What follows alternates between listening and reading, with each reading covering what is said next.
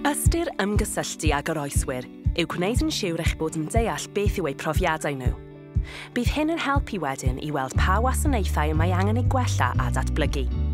Allwch chi ddim llunio polisiau na chreu gwasanaethau heb wrando ar lais y goroeswyr. Dydy gwahodd goroeswyr i mewn ddim yn ddigon. Mae'n bwysig eu talu nhw i ddod i mewn i siarad gyda'ch staff a rhoi adborth i'r goroeswr. Beth sydd wedi newid? Beth sydd wedi gwella? mae'n rhaid i hyn ddigwydd fel mater o drefn bob tro.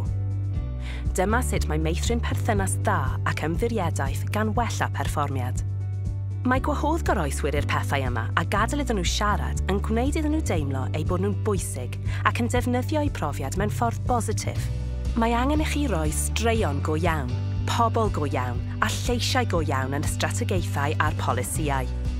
Mae gwaith cynnwys goroeswyr da yn golygu bod yn hyblyg Rhaid siarad gydag amrywiaeth eang o oroeswyr, nid dim ond yr un hen rai. Mae'n bwysig iawn cofio na fydd un dill yn siwtio pawb.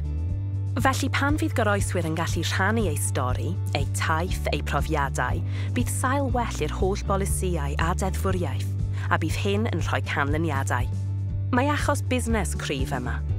Mae'n costio miliynau delio â'r problemau sy'n codi o beidio siarad â goroeswyr, felly mae ymyrraeth gynnar yn bwysig. Mae gwrando hefyd yn bwysig dros ben. Gwrando ar y goroeswyr a gwneud rhywbeth am y peth. Mae goroeswyr wedi cael eu tywelu mor hir gan ofn a chamdriniaeth fel ei bod wir yn gwerthfarogi pan fydd rhywun yn gwrando ar ei llais, yn ei clywed ac yn ei gwneud yn rhan o'r newid.